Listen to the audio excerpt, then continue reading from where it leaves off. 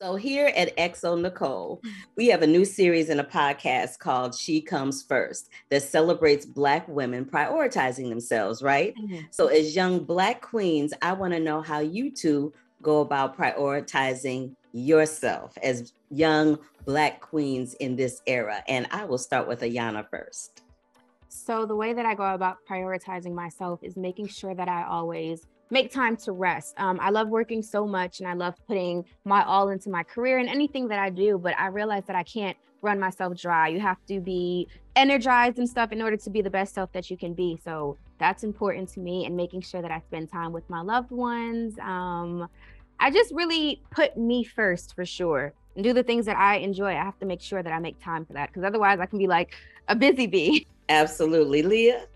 I make sure that I take care of myself really.